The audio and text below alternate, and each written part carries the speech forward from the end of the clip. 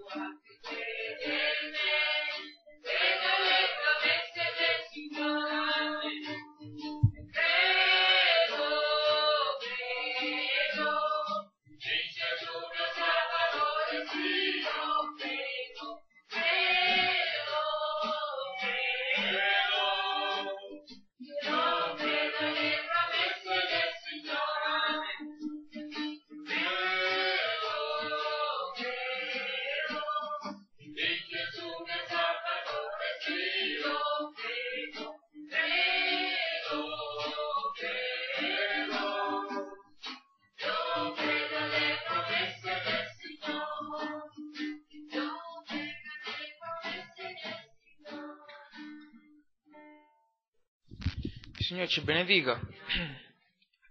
La fede di Dio. Il passo è Marco capitolo 11, versetto 20. Il mattino seguente, ripassando vicino al fico, lo videro seccato fin dalle radici. Pietro, ricordandosi, gli disse, Maestro, ecco, il fico che tu maledicesti è seccato. Allora Gesù rispondendo disse loro, abbiate la fede di Dio. Amen. Fratello Joshua. Marco 11, 24. Perciò vi dico, tutte le cose che domandate pregando, credete di riceverle e le otterrete. E quando vi mettete a pregare, se avete qualcosa contro qualcuno, perdonate, affinché anche il Padre vostro, che è nei cieli, perdonerà i vostri peccati. Amen. Finiamo con la preghiera.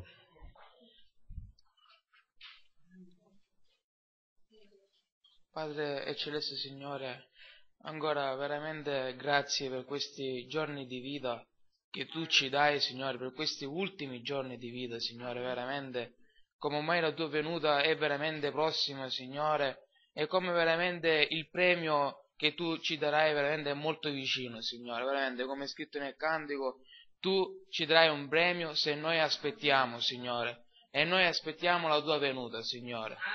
Oh Signore, veramente ancora, Signore, vuoi tu perdonare le nostre mancanze, Signore, perché a volte non meritiamo eh, di essere cristiani, non meritiamo nemmeno il tuo premio, Signore, veramente vuoi tu alzare, facci alzare, Signore, eh, ogni volta che cadiamo, Signore, perché il diavolo ci punzecchia sempre, Signore, durante la settimana, anche per sciocchezze che provengono dal mondo, Signore, ci fa cadere, Signore ma noi sappiamo che se abbiamo fede in te, Signore, tu ci rialzerai, Signore, e ci farai venire la domenica, Signore, aumentando sempre di più la nostra fede nei tuoi riguardi, Signore, veramente.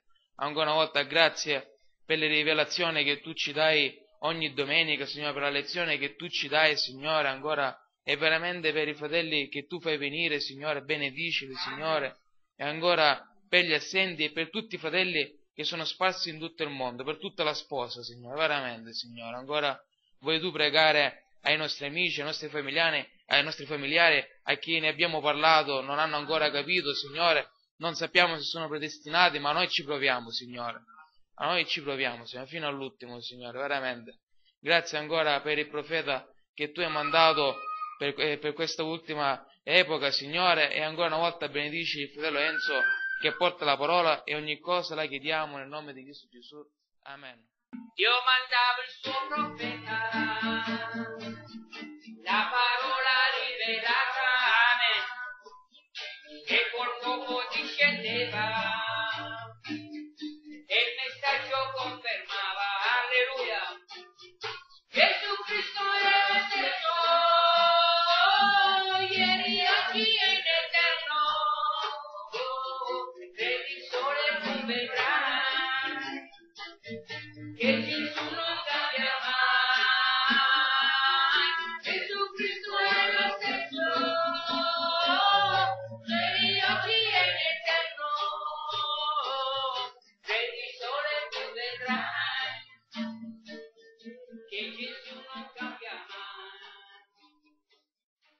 Grazie del cuore.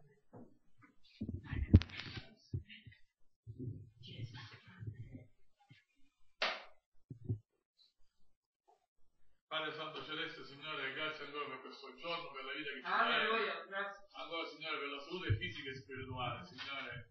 Perché se non fosse per quel sangue, Signore, che ancora scorre, Signore, per la tua sposa, Signore, noi saremmo perduti, Signore.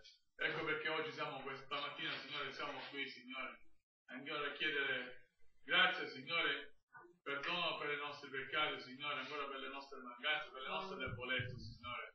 Perché il peccato, Signore, è incredulità, Signore. Ma noi, Signore, abbiamo creduto, Signore, per quello che, abbiamo, che tu hai fatto per questo tempo, Signore. Abbiamo creduto al profeta che tu hai mandato, alla parola che tu hai rivelato, a quei sigilli che sono stati spezzati, Signore. E la nostra fede, Signore, è ancorata a per quello che hai fatto tu per noi, Signore. Oh Signore, no- e non in quello che noi facciamo. Signore. Oh Signore, veramente, Signore, come ancora 500 anni fa, Signore, tu mandasti un messaggero, Signore, oh Padre, che rivelò, Signore, che noi siamo stati giustificati per la fede, Signore, non per le opere, Signore, ma per la fede che abbiamo, Signore, nella tua parola, Signore. Come 500 anni fa, Signore, sono state trascritte, la, tua parola è stata trascritta, Signore, in un linguaggio per il popolo, Signore. Amen. E finalmente, Signore, noi abbiamo potuto avere accesso, Signore, alla tua verità, Signore. E ancora, Signore, negli anni seguenti, Signore, hai perfezionato, Signore, con altri messaggeri, Signore, la tua parola. Padre, oh Signore, quando nell'ultimo giorno, Signore, hai dato, Padre, la totalità, Signore, della, della rivelazione, Signore, attraverso la santificazione dello Spirito Santo, attraverso la rivelazione, Signore, perché lo Spirito Santo è rivelazione, Padre. Amen. E quest'oggi, Signore, ancora, Signore, siamo qui, Signore, ad aspettare quello- questo grande evento, Signore. Gloria. Oh Padre, la resurrezione dei morti la trasformazione dei viventi per raggiungerti su nel cielo, Signore.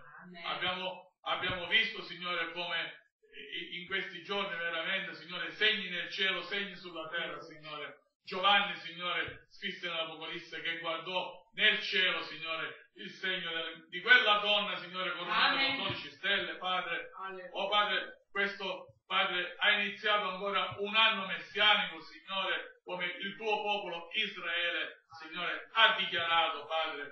Oh Signore, veramente come tutto confluisce, Signore, al tuo ritorno, Signore. Amen. Oh Padre, ti rendiamo grazie, Signore, perché noi vediamo, Signore, vediamo nello Spirito, Signore, Amen. dove tutte le denominazioni, Signore, sono state accecate da questo ecumenismo, Signore. Tu, Signore, ci hai dato la vista, Signore, per vedere la tua parola Amen. e ancora quell'olio nella lampada, Signore, per presentarci alle prossime nozze che ci saranno, Signore. Quelle nozze, Signore, che nella tradizione ebraica, Signore, avvenivano nella primavera, Signore. Alleluia. Oh Padre, Signore, ti ringraziamo per tutto quello che ci riveli, Signore. E ancora, Signore, facci, Signore, rimanere fermi nella fede, Signore. Fortificaci, Signore, perché sappiamo che i prossimi giorni saranno giorni duri, Signore. Alleluia. Saranno giorni di guerra, Signore. Saranno giorni di cataclismi, Signore. Perché questo dice la tua parola, Signore. Dove la tua terra, dove questa terra verrà ribaltata, Signore. Politicamente, economicamente, Signore, e anche fisicamente, Signore, perché, Signore, ancora, Signore, coloro che studiano, Signore, stanno vedendo che eh, l'asse terrestre sta barcollando, Signore. Oh Padre, veramente, Signore, ti ringraziamo, Signore, per quello che tu fai per noi, Signore, ogni giorno, per i nostri figli, Signore, per le nostre famiglie, Signore, perché tu hai custodito, Signore, in questi vent'anni le nostre case, Signore, Alleluia. dal male, Signore, tenendolo fuori, Signore. E quando si è presentato, Signore, abbiamo avuto la potenza del tuo nome di scacciarlo via, Signore. Oh Padre, veramente, Signore, ci ha dato un'arma perfetta che è il tuo nome, Signore. E ancora, Signore, sappiamo che questa arma la dobbiamo utilizzare fino all'ultimo giorno, Grazie, Signore. Padre. Benedici il fratello Enzo che porta la parola, tutti presenti, coloro, Signore, che sono assenti per qualsiasi motivo, Padre. E benedice tua tua sposa nel mondo, Signore, che presto vedrà, Signore, quel trono, quel trono di giustizia, Signore, quel Alleluia. trono di grazia, Signore. Grazie, Signore, per ogni cosa te lo chiediamo nel tuo santo nome, è Cristo Gesù. Amen. Amen. Signore ci benedica. Dio ci benedica. Allora, passata una buona settimana? Mi auguro di sì. Amen. Il Signore ci benedica. Lear, tutto bene? Combattiamo, dice fratello, combattiamo giornalmente. Amen. Allora, oggi ci, ci accingiamo quest'altra puntata sulla fede e vedremo come il profeta ci spiega la giusta fede applicata alla tua casa. Il profeta ha fatto una predicazione che io oggi cercavo e che ero convinto che ce l'abbiamo in italiano. Tu e la tua casa. Per caso questo titolo ti è familiare? Tu e la tua casa? Perché io mi ricordo che ce l'avamo e c'è anche domande e risposte su tu e la tua casa, no? Solo che è successo? Andate a cercare. Meno male che ho fatto una ricerca su internet stamattina eh, perché ero combattuto fra due, fra due diciamo, messaggi. Uno era basato su quello che abbiamo detto domenica, perché a volte la nostra fede fallisce, no? Come dice il profeta. Ed è anche bello questo di qua. E l'altro era durante la preghiera di domenica, che finendo ho parlato proprio su tu e la tua casa. E ho detto, guarda, il soggetto che Dio mi ha messo in cuore per la prossima domenica. Allora, combattuto in questo, ho scelto questo soggetto sulla fede, eh, tu e la tua casa, e andando a guardare ho visto che non c'era. Comunque l'ho scaricato questa mattina, l'ho trovato in spagnolo, portoghese, tradotto è molto leggibile. E allora che cosa faremo? Ho fatto delle, poi delle diapositive su cui vedremo proprio le cose che rimarchi il profeta su questo soggetto e ci spiegherà, fratello. Dio le benedica, Salvatore. Prego. E su questo soggetto, su tu e la tua casa, ecco perché mi piace anche il presente, perché a che cose che noi oggi molte volte siamo, ci siamo non sfrenati, ma abbiamo dispiacere nel nostro cuore, perché vorremmo che i nostri familiari fossero insieme a noi, no? Amen. Questa... Allora il profeta ora ci darà delle direttive. Amen. Fare in modo che i nostri figli, i nostri parenti, chi c'è di più caro, possa rimanere e possa essere attratto da quello che è il Vangelo. No? Ora poi leggeremo cosa dice il profeta. Intanto, come ogni domenica, ci proiettiamo in quelle che sono le profezie finali. Oggi parleremo su... Ah, perché sono tante, fratello. Effettivamente, mi ha scritto un fratello l'altro giorno. Dice, fratello, la cosa bella di voi, dice, no? È che tutte le cose attuali voi le portate con il messaggio, amen. E sono cose belle da, da seguirci e da ascoltare. Oggi abbiamo un'altra profezia del tempo della fine, fratello. Allora, ed è il gas metano e terra che brucia. Gas metano, cioè... Allora, ascoltate che sta succedendo oggi nel mondo, fratelli, e poi le vedremo con le parole del profeta. Questa figura che voi vedrete, siccome la terra è ricca di giacimenti di gas nel sottosuolo, oggi che cosa succede? A motivo dell'effetto sera, questi gas sono, stanno cominciando ad essere rilasciati dal mare. E che cosa sta producendo? Produce diverse cose, ora noi vedremo, e che poi il profeta ne parla. Quindi andiamo a fare parlare il profeta. Allora, nella predicazione il paradosso, fratello, alla nota 100, William Brane dice, ora vediamo il mondo geograficamente, vediamo i segni, terremoti in vari luoghi, dice, nazione contro nazione, vediamo tutte le cose che sono previste, vediamo segni spaventevoli nei cieli, il cuore dell'uomo che viene meno, infatti dischi volanti e così via, che essi non possono spiegare. Fratello dice, sui dischi volanti sapete cosa diceva? Sono gli angeli investigatori di Dio del giudizio che verrà sulla terra. E lui si paragona a quegli angeli che andarono al tempo di Sodoma e Gomorra ad incontrare eh, Abramo, no? Dice, sono angeli, dice, gli investigati- investigatori e così via. Quindi, vediamo le bombe atomiche dispiegate là, fuori, laggiù, ovunque. I grandi missili possono portare a distruzione totale in un'ora, come dice la scrittura. Roma sarà bruciata in un'ora. Vediamo i gas sospesi, li ho messi, l'ho evidenziato più, grosso, più grande, perché William Ray dice questo. Vediamo i gas sospesi sopra di noi lì, che farebbero cadere pioggia di fuoco giù dal cielo. Guardate, il profeta arriva, spara sta cosa, gente che si dice, ma, fantasia, no? Allora, vediamo i gas sospesi sopra di noi lì, che farebbero cadere pioggia di fuoco giù dal cielo e distruggere la terra. Ma vediamo anche Gesù che ha fatto la promessa. E come è stato detto, questo Gesù che è stato preso da voi, alla stessa maniera sarà di nuovo portato in questa terra. Amen. Come se n'è andato, ritornerà. Noi ricordiamo tutto il passo di, degli altri. Quindi, ma il profeta ci dà un'altra indicazione, il Signore ci dà un'altra indicazione che la terra avrebbe passato, cioè questo. Vediamo i gas sospesi sopra di noi lì che farebbero cadere piogge di fuoco giù dal cielo e distruggere la terra. Amen. Noi sappiamo che l'ossigeno è gas, no? E così via. Ma insieme all'ossigeno ci sono tanti altri gas. Se noi respireremmo ossigeno puro, penso che non potrebbe essere, ha bisogno di essere mescolato con tanti altri gas. Comunque, guardate cosa sta succedendo. Allora, il World Ocean di ricerca, il, la ricerca mondiale sugli oceani, cosa sta dicendo? Guardate. Enorme quantità di metano sono depositate in tutto il mondo nel fondo del mare nella forma di idrati di metano solidi. Quindi che succede? Questi idrati rappresentano una grande energia per l'umanità. Ma a causa del riscaldamento climatico, tuttavia, potrebbe causare agli idrati di destabilizzarsi, quindi da solido diventano, diventano come si chiama, gassosi, no? Aerofallo, bravo. Allora, allora, il metano, un potente gas sera, se liberato nell'atmosfera, potrebbe anche accelerare il cambiamento climatico, il riscaldamento aumenterebbe di più. Quindi qui parla di gas e potrebbe, che cosa fa il metano? A contatto si incendia? Si incendia. Amen. Allora guardate. Ora, un altro invece eh, istituto di ricerca cosa dice? La perdita di metano naturale dal fondo marino è molto più diffusa sulle coste americane dell'Atlantico rispetto a quelle precedenti. Perché? Proprio sulle coste americane. E noi sappiamo che il giudizio, come dice la scrittura, parte dalla casa di Dio. E noi vediamo che proprio lì sta succedendo nelle coste americane un fenomeno particolare che, farà, che sta facendo salire i pesci morti e così via. No, perché respirando eh, i pesci, questi gas, muoiono. Infatti cosa dice? Perché poi il metano, sapete, non è quello che noi abbiamo nella bombola. Fa puzza perché viene messo un, un solvente per fare puzza, perché il gas in sé non ha, non ha odore. Infatti nelle fabbriche camminano con una scatoletta che quando suona è perché c'è puzza di gas e devono uscire, ma la puzza non si sente. E quindi rischi di morire all'istante. Capite? È che metano che noi abbiamo nelle bombe. Quindi cosa succede? Allora, a quando precede... Allora, infatti l'altra volta, sapete, un ragazzo mi disse questo, dice, ma ci hai fatto caso che nelle chiese sono più la gente malata che la gente buona, che ha sempre problemi? Dice, ma come mai? E infatti ho questa risposta. Penso, ma effettivamente è vero, perché noi la vediamo tutte, no? Malattie e cose varie. Perché dice, dovrebbe essere il popolo più sano che c'è, no? E invece guardate, fratello, e poi riflettendo, e poi arriva la risposta, dice, perché? Perché la, il giudizio parte dalla casa di Dio. Perché se noi ci comportiamo male, allora il Signore per addrezzarci, no, che fa? Ci mette una piccola cosa, ma finché ritorniamo a Lui, ma l'uomo nel mondo, che sembra che non gli succeda mai nulla, quando muore va direttamente spedito, non ha più nessuna possibilità di potersi ravvedere.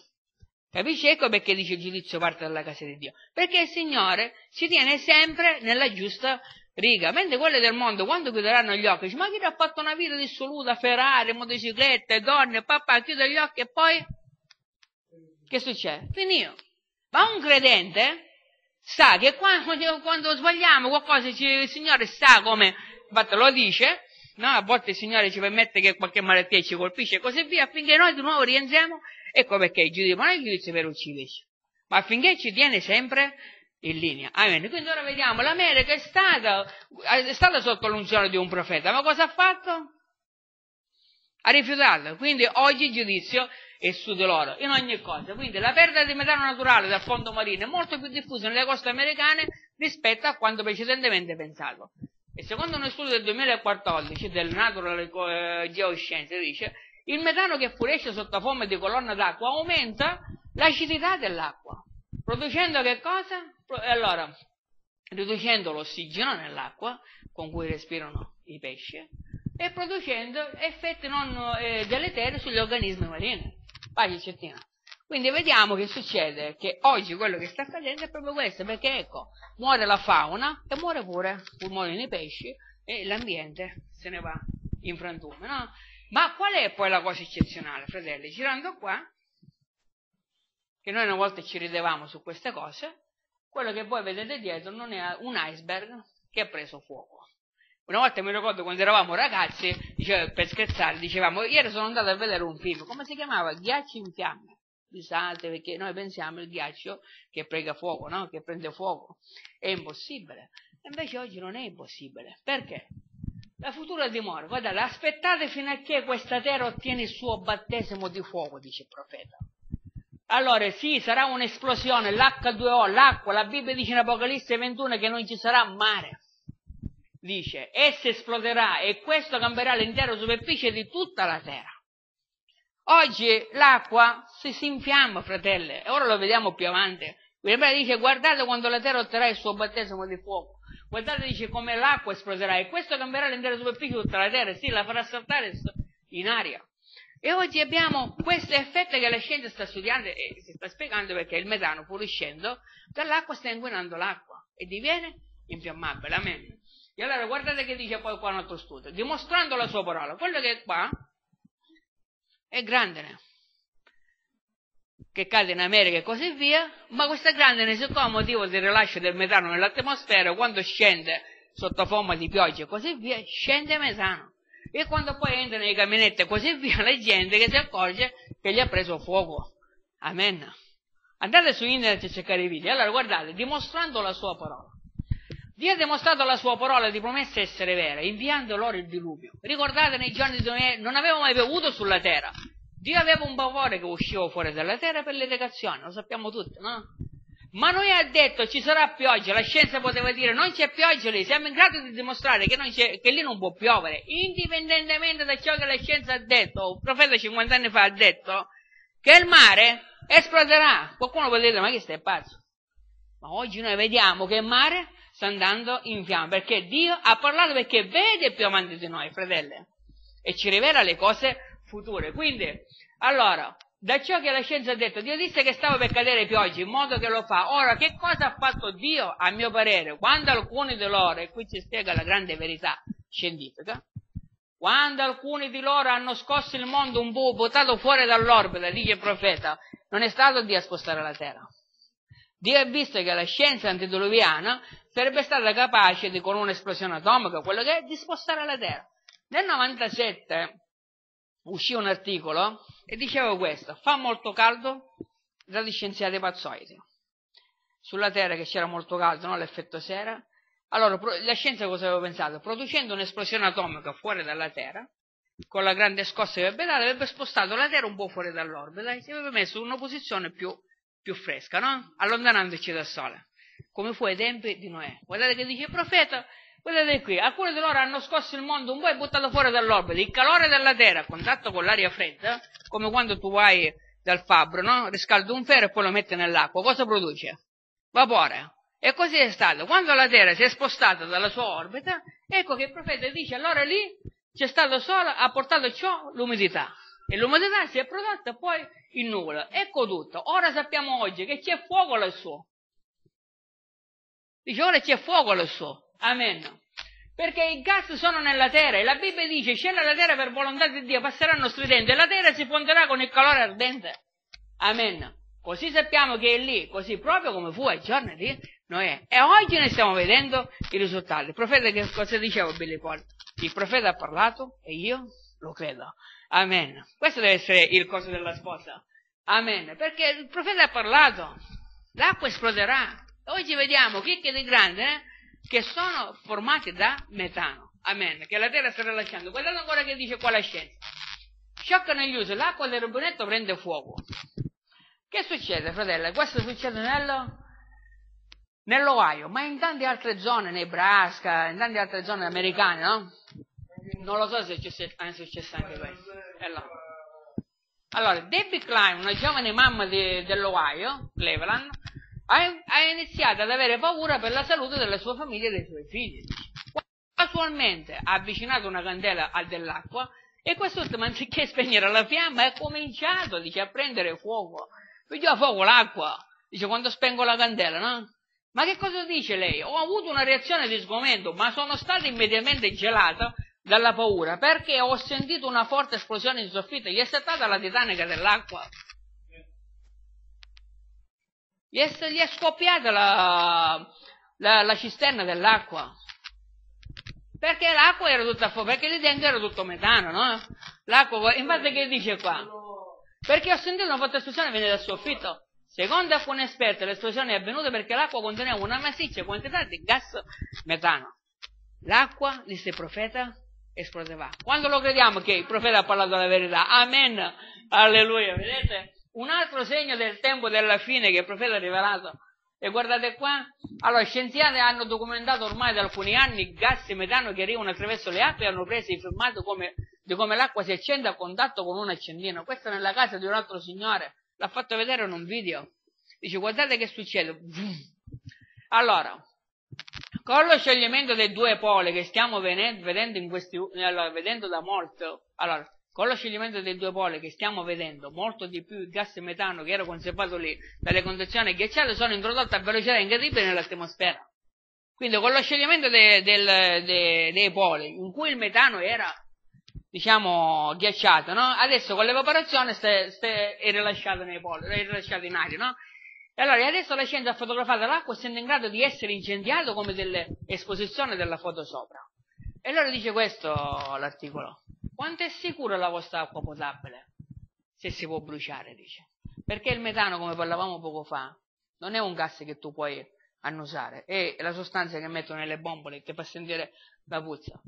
Allora, quanto sono sicuri i nostri laghi e fiumi se possono essere incendiati? Sapete che disse questo, questo nell'articolo? Prima di andare a casa dice faremo meglio a pregare. Prima di andare a casa perché ormai niente più sicuro, fratello. E allora ancora noi cerchiamo di mettere qua radice su questa terra. Questa terra, fratelli, è pronta a saltare in aria. Perché Dio ha mandato un profeta dicendo prima che quel grande giorno spaventevole verrà, io vi invierò il profeta Elia. Per fare cosa? Un'opera di restaurazione affinché nessuno Dice affinché almeno quello che si può salvare verrà salvato, fratelli. Amen. Gloria al Signore, fratelli. Vediamo se c'è un altro articolo. Allora, allora, poi il paradosso sempre del 64. Allora, vediamo i gatti sospesi sopra di noi lì che farebbero cadere pioggia dal fuoco giù dal cielo. Abbiamo visto, amen. E distruggere la terra, ma vediamo anche Gesù che ha fatto la promessa. E come è stato detto, questo Gesù che è stato preso da voi verrà di nuovo nello stesso modo. E noi lo crediamo e siamo qui perché siamo in questa grande attesa. Allora, fratelli, Dio ci benedica e oggi parleremo di questa, di questa lezione che la giusta fede, fratelli. È importante che per noi che crediamo e mettiamo fiducia che Dio possa fare una grande opera nella nostra famiglia, vediamo come il profeta ce la spiega. La giusta fede applicata alla nostra casa, alla tua casa, che sarebbe la mia, la tua, la sua, di ognuno di noi. Allora, Atti 16.30. Andiamo a leggere cosa dice qua la scrittura in Atti. E passiamo dal capitolo 16 perché lo vuole prendere. E passiamo dal versetto. Vediamo. Dal versetto 16. Amen. Ora avvenne, diciamo, che mentre andavano al luogo della preghiera, qui, vanno, qui è Saulo e Sila, Paolo e Sila, ci venne incontro un giovane, allora una giovane serva che aveva uno spirito di divinazione che, facendo l'indovina, procurava molto guadagno ai suoi padroni. Costei, messasi a seguire Paolo, Paolo e noi, gridava dicendo, questi uomini sono servi di Dio Altissimo e ci annunciano la via della salvezza. Amen. Essi, allora, ed essa fece questo per molti giorni, ma Paolo, infastidito, come, allora, si voltò e disse allo Spirito, io ti comando nel nome di Gesù Cristo di uscire da lei. Ed egli uscì in quell'istante. Ora, dici, padrone di lei, sapendo che, allora, vedendo che le, la speranza del loro guadagno era svanita, presero Paolo e Sila e li trascinarono sulla piazza del mercato davanti ai magistrati. E presentateli ai pretori dissero quest'uomini che sono giudei turbano la nostra città e predicano, e predicano usanze che noi che siamo romani non è lecito di accettare o di osservare. Allora la folla insorse tutta insieme contro di loro e i pretori strappati le loro vesti allora comandarono che fossero quindi battuti no? amen e dopo averli battuti con molti colpi, li gettarono in prigione, comandando al carceriere di tenerli al sicuro. Questi ricevettero allora questi, ricevendo un tale ordine, li gettò nella parte più profonda della prigione e fissò ai loro piedi, loro, eh, ai loro piedi dei ceppi. Guardate. Ora verso la mezzanotte Paolo e Sila pregavano e cantavano in a Dio e i prigionieri li udivano. E improvvisamente si fece un grande terremoto, tutto, tutto, che le fondamenta della prigione furono scosse e in quell'istante tutte le porte si aprirono e le catene di toro si, si tolsero. Il carceriere d'estatesi, viste le, le, le porte delle prigioni aperte, no? spalancate, trasse fuori la spada e stava per uccidersi, pensando che i prigionieri fossero scappati. Ma Paolo gridò ad alta voce dicendo non fare alcun male perché noi siamo tutti qui. Amen. E chiesto un lume, egli corse dentro e tutta tremante si gettò ai piedi di Paolo e Sila. Poi li condusse fuori e disse, Signore, cosa devo fare per essere salvato? Ascoltate. Lui fa una richiesta personale, cosa devo fare per essere salvato? Ed essi dissero, credi nel Signore Gesù Cristo e sarai salvato tu. Però poi continua dicendo, e la tua casa. Amen. Credi nel Signore Gesù Cristo e sarai salvato tu e la tua casa. Credere vuol dire avere fede. E allora, oggi parleremo su questa fede applicata alle nostre case. Atti 16, 30. Allora, Signore, cosa devo fare per essere salvato? Credi tu la tua casa. Noi possiamo dire, fratelli, che giorno era? Era un giorno tranquillo, no? Un giorno come tutti gli altri per questo soldato romano che era lì come un giorno è stato un giorno per tutti gli altri quando noi eravamo nel mondo, no? Allora cosa succede? Un giorno però qualcosa di particolare avvenne a questo soldato, fratello. No. Allora che succede? Dicevo, un giorno normale come lo stato quello degli altri, no? Un uomo che guardava altre persone che erano in prigione, no? Qui possiamo fare che cosa, fratelli? A volte quando io parlo con i guardie carcerieri, noi abbiamo molti fratelli che sono guardie carcerieri. La prima cosa che ci dicono, sapete qual è? I veri carcerati non sono loro, i veri carcerati siamo noi. Perché noi, essendo liberi, dobbiamo stare lì dentro per osservare loro, tutti e due sono nella medesima sorte. Allora cos'è, fratelli? Qui noi possiamo vedere com'è l'umanità. Fratelli, non c'è chi è schiavo e chi è libero, ma siamo tutti schiavi, perché anche se siamo liberi siamo schiavi di cose, del peccato, siamo schiavi di questa terra, siamo schiavi di questo sistema che ci ha intrappolati.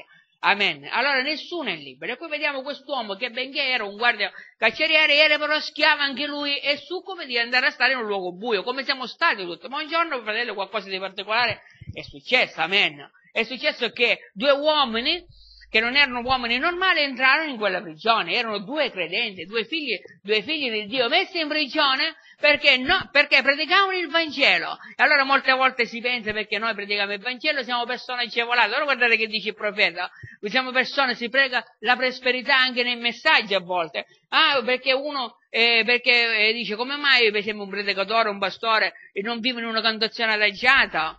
Ma perché allora, eh, allora si pensa, allora se non vivono condizioni adagiate perché, perché, Dio non lo benedice, si pensano anche queste cose, già fuori ci sono i loro problemi, no? Nelle chiese che si predica la prosperità, ma a volte anche queste cose le troviamo nel messaggio, queste cose. Non è così, perché nella, eh, diciamo, Dio sa, perché sa come, come noi ci potremmo perdere, ecco perché ognuno di noi vive nella condizione in cui Dio lo chiama, fratelli, perché sa che tu in una condizione diversa ti potresti perdere. Allora ognuno di noi dobbiamo accettare la nostra condizione di cose, pregare Dio che ci dia una condizione diversa. Dio sa come trattare con ognuno di noi. Quindi quest'uomo, benché predicasse il Vangelo, ed era, pre- ed era chi era Paolo? Il primo messaggero. Amen. Non era un uomo battuto per il Vangelo, eh, spubblicato in piazza, eh, deriso, preso in giro, amen. Alla fine rimase lui un, ah, lui in prigione della sua vita, tutto il suo ministero, fino a che lui era in prigione, e gli disse, senti, portate un mantello perché qua non ho neanche di come coprirmi la notte. E allora noi vorremmo pensare di avere pregiudizi e su di noi e sugli altri, gli altri su di noi, fratelli. Quindi ecco perché dobbiamo stare veramente tranquilli e semplici e confidare solo nel Signore. Amen. Che Paolo, la sua ricchezza era Gesù Cristo. Amen. Alleluia. Quindi ecco che cosa succede, che questi uomini entrarono e in quel giorno successe qualcosa di speciale. E benché quell'uomo, fratelli, rigettò, li prese con asprezza e li buttò, dice, nella parte più buia della prigione, eh, come noi, quante volte, fratelli, quando abbiamo conosciuto il messaggio, non è che l'abbiamo afferrato subito. L'abbiamo buttato dietro le spalle, se l'abbiamo buttato, l'abbiamo messo di là. Ma benché l'abbiamo messo nella parte più recondita della nostra scrivania, del nostro cose e così via, qualcosa lì pulsava, amen. Qualcosa lì era la predestinazione, amen. Cose che noi non potevamo capire, che, capiamo oggi, amen. Ma qualcosa già, benché l'abbiamo buttato dietro le spalle, qualcosa, infatti, quando, quando quell'uomo gli disse cosa devo fare per essere salvato, Paolo gli deve dire crepa. Diceva crepa, non ti dirò niente perché mi hai trattato male, ma l'amore, vedete, di Dio, benché furono trattati male, gli, gli svelò la via per cui essere salvato lui e la sua casa. Grazia sovrana, fratelli, la grazia sovrana. Ecco perché, fratelli, non è per le opere, ma è per la grazia. Perché passarono quel vituperio? Perché dovevano andare in prigione, andare a predicare a quelle persone che erano in carcere, e andare a predicare a quell'uomo che quando ascoltò, perché lui ascoltò qualcosa, amen, quando ascoltò ciò che i fratelli lì dentro pregavano e, e dicevano, andò subito lì e visse quella cosa soprannaturale. Quando avvenne questa cosa? A mezzanotte. Vogliamo paragonare al tempo di oggi? Mezzanotte che cos'è? Il grido di quest'epoca. Dove che come furono liberati, fratelli? Non è che Paolo mentre cantava una sera, dai, io canto e qualcuno taglia le sbarre e usciamo. Ma successe che cosa? Una cosa soprannaturale. E quest'epoca è stata risvegliata da un grande movimento dello Spirito dove è stato dimostrato che cosa? Il soprannaturale. Amen. Dove veramente la gloria di Dio è venuta non con la sapienza della teologia. E su questo fu fatta una, una e su questo nel, nel, nel 1800 fu fatta una profezia. Che Dio avrebbe chiamato uomini non dalle scuole bibliche fondate da Spurgeon e tutti gli altri, che anche quando si sceglieva un ministro dovevano avere delle cose particolari, il petto grosso, la voce grossa e tutte queste cose, no? Non difetti fisici e così via.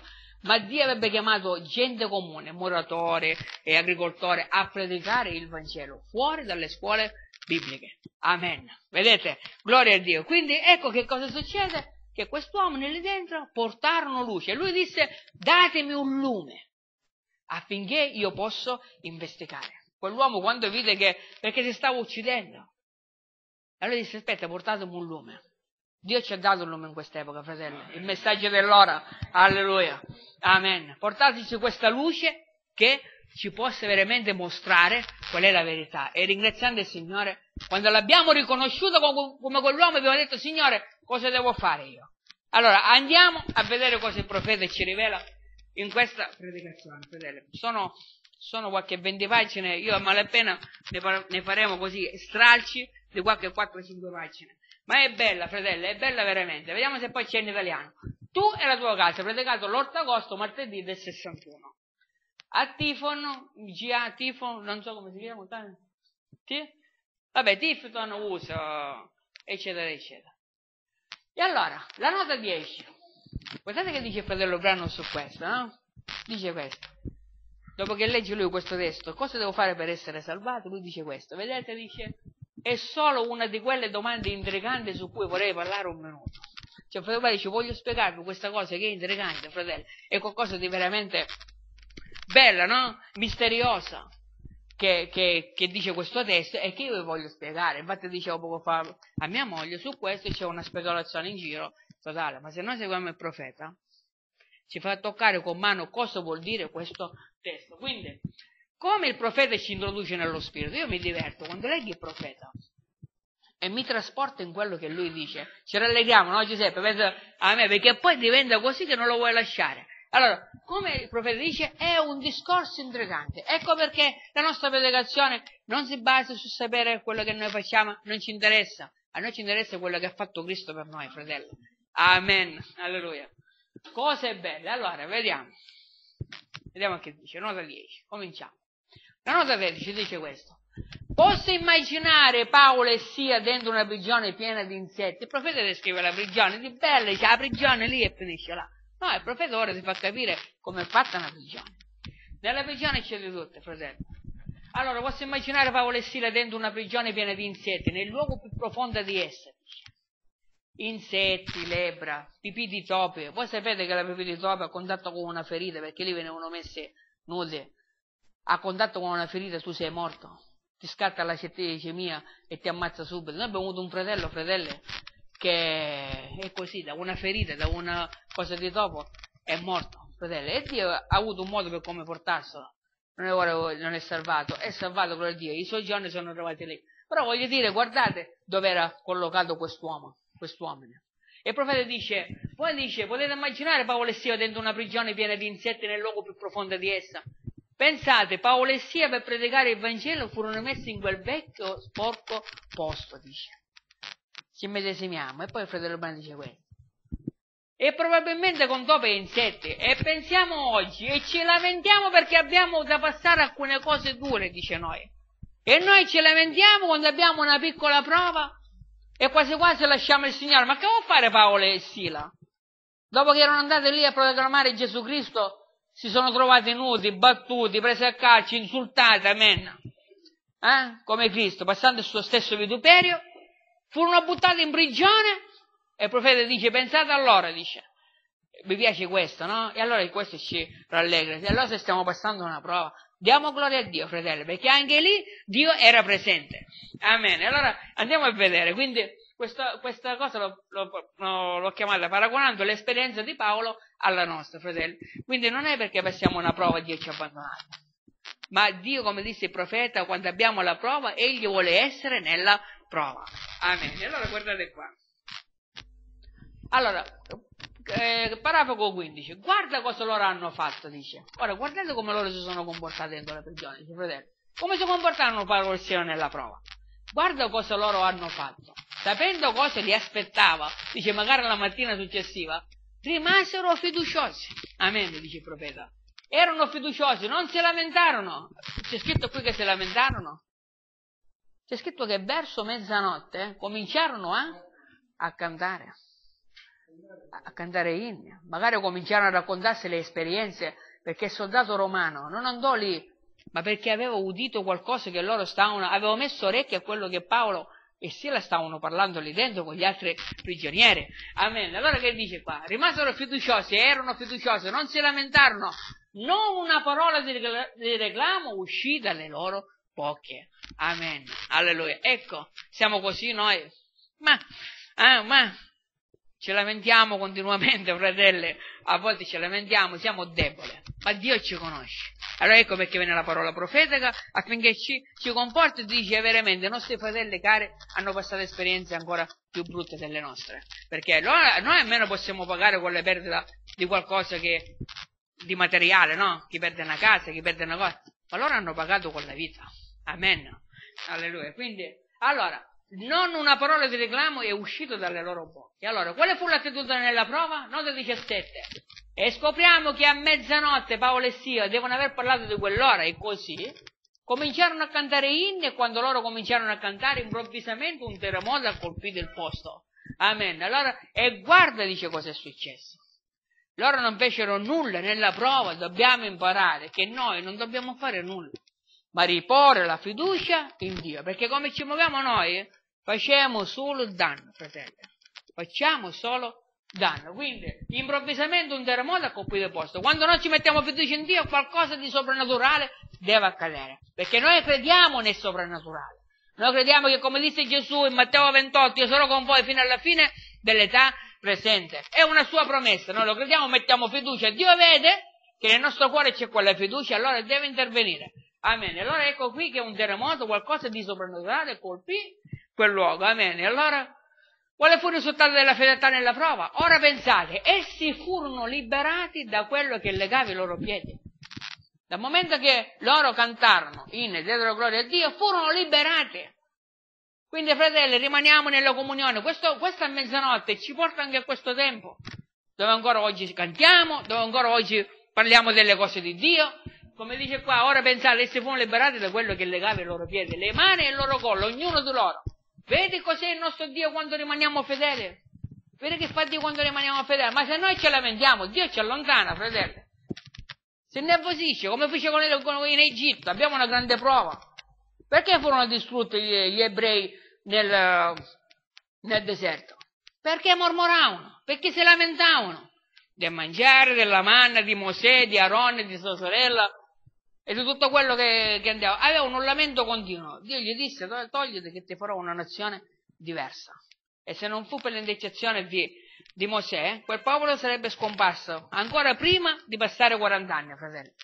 E se non fosse oggi per, la, per quello che fa Cristo davanti al trono di Dio, noi saremmo distrutti continuamente, fratello, amen. E allora, quindi, allora, cosa, allora, così il nostro Dio, quando rimanete fedeli, vedete cosa fa? Dice, dobbiamo tenerci fedeli. Non potremmo trovarci in quella situazione, dice. Dice, non sarà che noi ci troveremo in questa situazione, dice, però ci troveremo in un'altra situazione, dice il profeta. Allora, noi non potremmo trovarci in quella situazione di stare nel, però possiamo fare una cosa.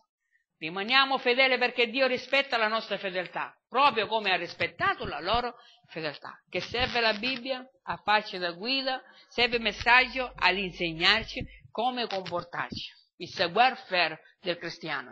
Amen. Allora, ecco qua. Allora, come? Allora, rimaniamo fedeli perché Dio rispetta la nostra fedeltà, perché senza fede è impossibile piacere a Dio. Amen. Questo è. Ma se noi piangiamo ogni minuto, ci lamentiamo di quello che Dio fa, di quello che Dio non fa e così via, allora vedete Dio ci tiene lontano. Ma quando noi ci intestediamo in una cosa, quella è quella che ottiene la cosa, fratello. Amen. Alleluia. Amen. Allora, rispettando la loro fedeltà. Alleluia. Ora, cosa ha prodotto la loro testimonianza? Cosa ha prodotto la testimonianza dentro quella scella, fratello? Ha condotto che molti si sono ravveduti, nessuno è scappato. Gli aspetta. Dice, le prigioni sono aperte, qualcuno poteva scappare. Dice, non, non uccidete perché se il soldato romano qualcuno scappava, lui pagava per quell'uomo. Ecco che sono i veri prigionieri. Non sono loro, ma erano loro che erano schiavi di Roma.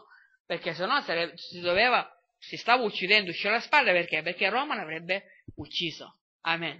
E allora, la guardia alla porta deve aver pensato, dice il profeta, che quella notte Paolo e Sila stavano parlando delle scritture, doveva aver appreso qualcosa egli cominciò a sentire e apprese qualcosa.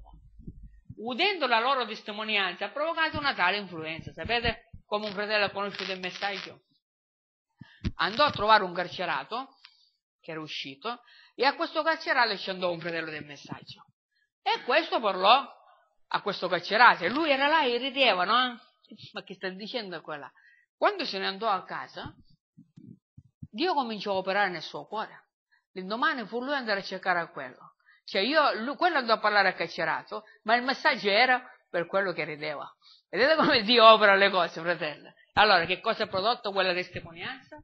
Ha prodotto che la guardia alla porta deve aver pensato quella notte, quando Paolo e Sira stavano parlando delle scritture, doveva aver appreso qualcosa. Udendo la loro testimonianza ha provocato una tale influenza, amen, al punto da dire cosa devo fare? Attenzione, eh? Per essere salvato che cosa dobbiamo fare con la nostra influenza? Dice, vedete, cosa deve produrre la nostra influenza, fratelli? Amen. Dovremmo essere dei testimoni, dice il fratello Brato. E se non siamo, per esempio, chiamati a fare altre cose, con la nostra vita testimoniamo. Affinché la gente, quando ci vede, dice, eccoli un figlio di Dio che sta arrivando. Infatti, come il fratello Giuseppe, vuoi non vuoi, ti vengono a cercare. Perché sanno, benché non credono, ma sanno che in Giuseppe possono attingere a qualcosa che nella loro chiesa non trovano. Capisci? Anche se poi dicono, eh no, vabbè, ma noi crediamo, però vengono perché ci piace. Amen. Vengono ad attingere. Alleluia. Quindi, allora, che cosa devo fare per essere salvato? Ora guarda che dice il profeta Leardo. Cosa ha prodotto? La giusta attitudine verso un nuovo fratello. Ho messo questo. Come ci dobbiamo noi comportare? Guardate che dice il profeta. Ora hai osservato tu e io oggi e la maggior parte dei ministri e così via, siamo sempre lì a cercare di dire alle persone quello che non dobbiamo fare. Visto? Come anche il profeta molte volte si ferma e da questo testo dice, vedete, noi siamo lì, pu, pu, pu, diciamo sempre alla gente quello, quello che non dobbiamo fare. Allora non dovete fumare, non dovete rubare, non dovete mentire, non dovete fare questo, non dovete fare quello. Ma dice, ma ora non era quello che l'uomo ha chiesto, non ha detto cosa non devo fare per essere salvato. Invece la gente è sempre messa qua e comincia a battere, a battere, a battere. Ma qui lui ha detto cosa io devo fare? E il profeta lo dice. Noi siamo volte messi là a dire quello che non dobbiamo fare, ma questo soldato dice cosa io devo fare? Vedete, dice, la giusta attitudine verso un nuovo fratello. È così quando si avvicina un fratello. Quante volte si è avvicinato un nuovo fratello? Ah, ora ah, devo buttare la televisione, ah, ora a fare crescere, capite? Ah, ora devo, vedete, non devo fare questo, non devo fare quello. Vedete? Questa è la lezione che noi abbiamo ricevuto quando abbiamo conosciuto il messaggio. Ma ringrazio Dio che ci siamo liberati da tutte queste no fesserie, ma di queste cose che devono venire da sole, fratelli. Queste cose vengono da sole, come dice il profeta. Perché il profeta dice qua, basta fare quello che, de- fare quello che devi fare. E tutto il resto si prenderà, si prenderà cura da se stesso. Se tu stai mentendo, rubando, bere o giocare e fare tutte queste cose che, che sono male, questo si arresta. Quando fai quello che ha detto Paolo, rispondendo alla sua domanda, cosa devo fare per essere salvato? Ha detto crede nel Signore Gesù. Quando noi crediamo nel Signore Gesù, noi che cosa vogliamo fare in automatico? Vogliamo piacere a Gesù. E allora quelle cose non le fai in automatico, ma se vengo io e comincio a dire, ah, Cettino, sai però tu, oppure ah, Salvatore, sai però, che cosa fai? Tu pensi che quell'uomo lascia il suo peccato? Il peccato viene lasciato quando Cristo entra nel cuore e brucia quella radice. Amen. Quando egli verrà vi convincerà di peccato, fratelli. No quando viene il fratello e comincia a dire tu che sto non a fare questo no. Produrrai solo odio e una repulsione, al punto che quella cosa non è che la fai una volta, la fai due volte. Allora ecco che Gesù, ecco che il profeta ci spiega la giusta attitudine. Tu devi fare solo questo, credi e le altre cose verranno a naturale. Come disse una volta un fratello che fumava, fratello, non mi fare a lavare il melo, tu mettilo sotto il sangue di Cristo. E fu liberato qui stesso. Quando lui scese quel, cosa, quel velo di sangue e lui disse fratello io ho visto quando finì il culto lui testimoniò fratello io ho visto un velo di sangue che scendeva fra me e te. Poi nei prossimi giorni lui non capiva che era successo e poi domenica quando venne oggi non c'è più perché vede non sappiamo trattenere la nostra fede e fratello io non capivo che è successo ma io da quel momento in poi non ho toccato più una sigaretta perché Dio in quell'istante, io gli dissi, finché il sangue non viene su di te e brucia quel desiderio, tu fumerai sempre. In un attimo quel desiderio scomparve da lui. Amen. Perché Dio è fedele, fratelli. Amen. Allora, vedete? Allora, quando fai quello che Paolo ha detto, rispondendo alla sua domanda, cosa devo fare per essere salvato? Ha detto, credete nel Signore Gesù Cristo e sarai salvato tu, che volta, ma tu e la tua casa. Quindi, Ecco, quando c'è un fratello nuovo che si avvicina, lasciate che lo Spirito Santo agisce sulla gente nuova. La gente viene, non, come disse una volta una sorella, Samantha, ancora vicina, che si era, si era convertita, si era, stava assaggiando il messaggio, subito voleva vestirsi come noi, farsi crescere i capelli, ti ascolta sorella, per il momento che tu stai sulla sedia a rotelle e a tuo marito viene più facile mettere i pantaloni e così via, Stai in queste condizioni. Quando Dio ti curerà, che ti alzerai da quel, perché già Dio lo vede nel tuo, il desiderio del tuo cuore. A suo marito gli veniva difficile e, e si litigavano sempre per questo fatto. Quando Dio sa che tu vuoi indossare le gonne, non c'è bisogno che tu fai l'esteriore. Lascia stare, quando il Signore ti alzerà da questa sedia dell'hotel, allora lì indosserai poi per conto tuo le gonne e così via. Vedete? Cioè, non, non cerchiamo di correre più di quanto noi possiamo fare i nostri passi perché Dio sa finché noi possiamo correre nelle cose. Quindi attenzione, allora, la giusta comprensione di questo testo. Ora, fratello, guardate che dice qua il fratello Brano. Entriamo nel dettaglio. Credi tu essere salvato tu e la tua casa. Amen. Ora dice la tua salvezza non salverà quel bambino. Molti fratelli cosa pensano? Dato che io sono salvato, mio figlio è salvato. Pensiamo questo, no? Dato che siamo salvati, la nostra cosa dato che sono un predestinato, ma figli in automatico è predestinato. Il dice Dio non ha nipote. Ognuno di noi deve fare la sua esperienza. Ora ascolta attentamente, questo è anche bene per te, per, per noi, per tutti quelli che abbiamo familiari nel mondo e così via. Ora la tua salvezza non salverà quel bambino, ma ora Paolo ha detto credete nel Signore Gesù Cristo e sarete salvati tu e la tua casa. Cosa significa questo? Non ha detto che perché sono stati salvati le loro case sarebbero state salvate con loro. Capite? Ora attenzione. Ma, attenzione. Significa questo, dice il profeta. Se avete fede sufficiente per essere tu salvato, se tu hai fede, noi abbiamo questa fede sufficiente. Dobbiamo avere una fede sufficiente che siamo salvati. A me non è perché abbiamo conosciuto il messaggio e lo crediamo, possiamo essere qua ma essere totalmente increduli, solo per stare insieme agli altri e riempire una sedia. Noi dobbiamo avere la certezza che siamo noi salvati. Che quei pochi, come disse il profeta, su cinque, tu sei uno di quei cinque. Questa è la fede. Amen. Perché dice se persevereranno nella fede, dice la scrittura. Amen. Quindi, se avete fede, suffi- se avete fede sufficiente per essere salvato, quella stessa fede che, tu, che, che avrebbe avuto per, per, sé, avrebbe lavorato anche per il suo bambino, questo spiega. La stessa fede che io credo che sono salvato, la devo applicare anche su mio figlio. Amen. Ora attenzione, eh? Capisci cosa intendo? Io ho i miei figli, dice il fratello Brando. Voglio vederli salvati, perché lui sapeva, Billy Polo se ne andava a giocare d'azzardo, si nascondeva le sigarette qua, ed era il figlio del profeta. Sara suonava il pianoforte e faceva musica rock, ma il profeta mai li ha rimproverati per questo. Lo racconta anche il suo genero. Quindi, allora, ho i miei figli, voglio vederli salvati e, pieni, ripieni di Spirito Santo, dice. Ora li ho lodati a Dio e ho detto, ora io li ho portati in preghiera al Signore e ho detto, allora, io sono in attesa di Dio per loro, io sono in attesa di Dio per loro, io sto aspettando, Signore, amen. E credo che saranno salvati ognuno di loro. Noi è fossi credo, fratello. Anche se non vede il risultato che da figlio se ne vanno un mondo. Io devo fumo, fa quello che... Ma io devo credere che... Avere quella fede certa che verrà il giorno in cui lui sarà toccato dallo Spirito. Perché io lo sto credendo, fratelli. Questo è per i tuoi nipoti, per la tua casa e così via. Amen. Vedi, allora, e credo che saranno salvati ognuno di loro. Vedi, credo che saranno salvati e li avrò dall'altro lato. Il profeta se n'è andato, a Giuseppe Branham nel messaggio, Billy Paul nella parola, Amen. E Sara Branham e Sara, Sara pure, perché ha passato esperienze brutte. Rebecca, anche lei, amen. Tutti sono nel messaggio. Alleluia. Amen. Dice, vedete? Poi il profeta continua. Allora, vedi, credo che saranno salvati e li avrò dall'altro lato, dice. Amen. Non solo, e li avrò dall'altro lato. Credo che, che la mia salvezza li salverà? No, dice il profeta. Credi che la mia salvezza li salverà? No. Non è perché sono salvata allora i miei figli sono in automatico salvati. No. Ma la mia fede in Dio lo farà. La mia fede in Dio, la sicurezza che io ho che il mio Signore come ha salvato me mi salverà pure i figli, quello lo fa.